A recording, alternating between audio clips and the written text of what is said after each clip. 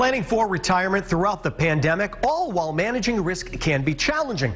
Here to help and explain our options is Steve Resch, financial advisor and vice president of retirement strategies at Finance of America Reverse. Good morning, Steve.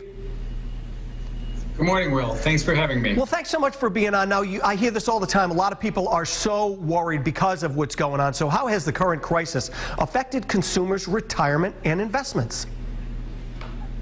Well, it's you know it's had a big impact on them uh, because people have been worried, and and what happens when we see markets move as dramatically as we have, people tend to get nervous, they sell out, and unfortunately, they miss the rebounds that we've experienced even over the past couple of months. So this does have an impact on the sustainability of the retirement plans. Because of this, yep. we're starting to see people look or embrace at what we've been advocating for years, and that's a holistic retirement strategy that includes home equity. So for anyone 62 or older, a reverse mortgage can provide that access to home equity. And what this does, it brings liquidity and options to the financial plan that they may not have otherwise had. So it gives them the ability to sit back and say, the market's doing what it's doing. I have access to capital if I need it, so I can let the let my investments stay and recover in time as they eventually should.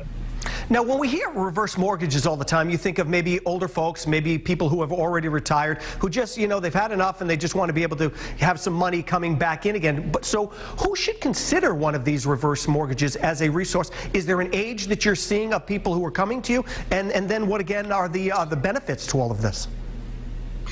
Well, we're definitely seeing, and my suggestion as well is, you know, you can get these at 62, and we are seeing people starting to look at them as 62. Think about, uh, think about the baby boomers, for example. They have to start planning for like a 30 year or longer retirement. So when they're rolling into their 60s, they have to think about how they're going to make this all work and bringing home equity into that planning process as soon as possible makes a lot of sense.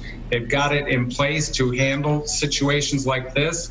And in addition, you can use a reverse mortgage to, for example, eliminate a mortgage payment. You can manage your cash flow, such as eliminating that mortgage payment.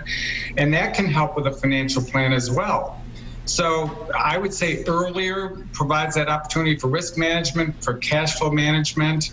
And these benefits as well um, cover broad spectrum of homeowners. We've got clients doing these with multi-million dollar properties. So sooner rather than later, uh, it doesn't matter how much money you have, it can make sense to at least evaluate if leveraging that home equity can help you manage risk and optimize your cash flow. Now, now if somebody wants more information about this, where can they go?